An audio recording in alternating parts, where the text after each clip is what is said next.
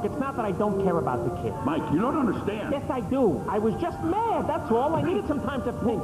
But you shouldn't have left me out there. I'm, I'm being attacked. No, I'm not attacking you. I'm, I'm trying to be honest. Just hear me out.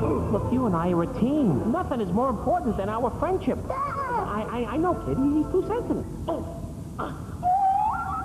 Come on, pal. If you start crying, I'm gonna cry, and I'll never get through this. I'm sorry I wasn't there, but I am now. Hey, Sulley, I am baring my soul here. The least you can do is pay attention.